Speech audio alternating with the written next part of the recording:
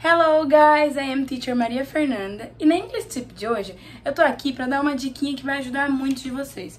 Porque muitos alunos, muitas pessoas quando estão começando a aprender inglês, né, elas confundem muito os dias da semana Tuesday com Thursday, né? Tuesday nós sabemos que é a terça-feira e Thursday seria a quinta, mas eles sempre confundem. Nunca, até eu mesmo quando comecei a estudar confundia qual que é terça, qual que é quinta. Uma dica que eu dou para vocês que uma professora minha me deu quando eu estudava na escola e eu levei pra vida e eu quero repassar para vocês agora. Tuesday. Tuesday a gente sabe que é terça, né? Como eu já falei. Chu tem som de dois, right? Né? Tem o som de dois. Chu, claro que a escrita é diferente. Chu não é assim que se escreve também, mas o som, a pronúncia é a mesma. Chu, número dois, e Tuesday.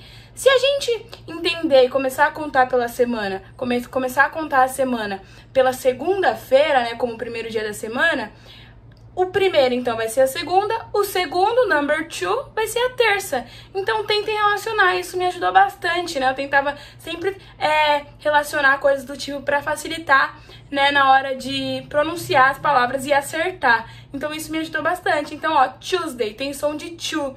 Chu, se começar pela segunda, vai ser o segundo dia da semana, que seria a terça-feira, então. Tá bom? Espero que vocês tenham gostado da dica e que tenha ajudado vocês, ok? Bye, bye!